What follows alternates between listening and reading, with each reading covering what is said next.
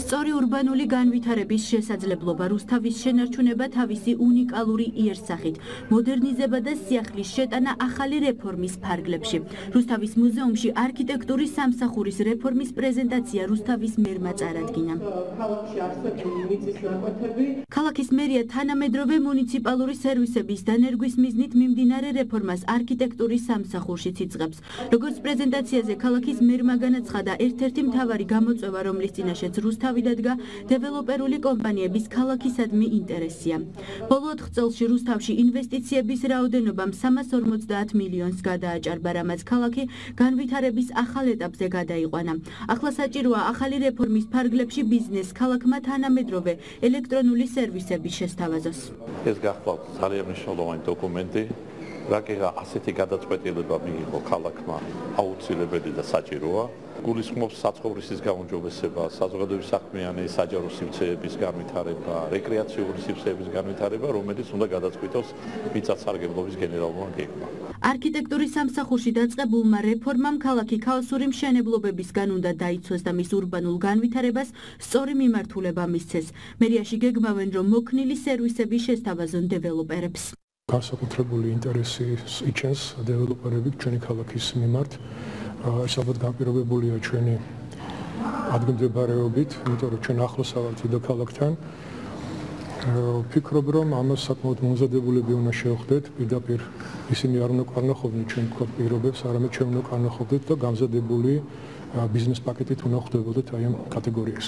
თანამედროვე ელექტრონული სერვისები, ეკოლოგიური პაკეტები, მწვანე ქალაქის კონცეფცია, რუსთავის განვითარების გენერალური გეგმის ახალი ხედვა, ანაზღაურებადი სტაჟირების პროგრამა.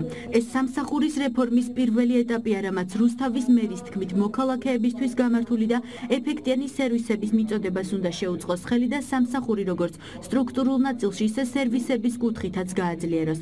ნინო ლაცაბიძე ამბობს, რომ არქიტექტურის სამსახურთან ერთად მუშაობა მიმდინარეობს ქონების სამსახურის რეფორმაზეც.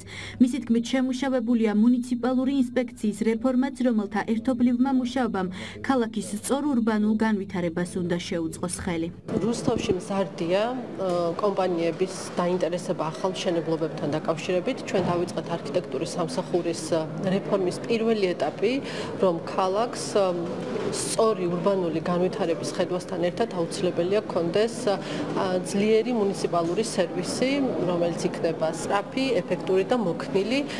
ჩვენი მთავარი ერთ-ერთი მიმართულება იქნება ახალ გენერალურ გეგმაზე მუშაობა და ვფიქრობთ, რომ ამ დოკუმენტით უკვე კიდევ ახალი ცვლილებები და ახალი შესაძლებლობები გამოვლინდება ჩვენი ქალაქის. რუსთავის მერმა ქალბატონმა დინო ლაცაბიძემ გაგვაცნო ურბანული ხედვები თუ როგორ უნდა განვითარდეს ქალაქი რუსთავი სწორად урბანულად, არქიტექტურულად.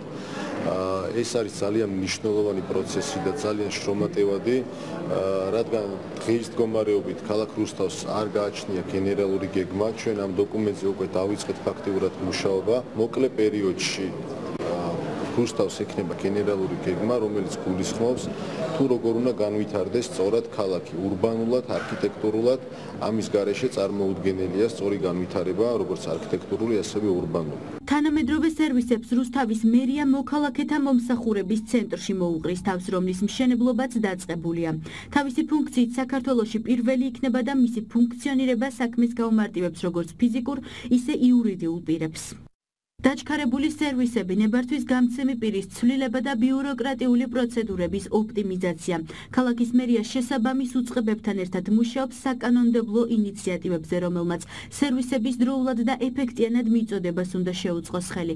რეფორმა ეკოვალდებულებების აღების პაკეტსაც ითვალისწინებს. მუნიციპალურ დონეზე ეკოპაკეტების შემუშავება ერთ-ერთი მთავარი იქნება გარემოს დაცვითი პრობლემის მოგვარებაში.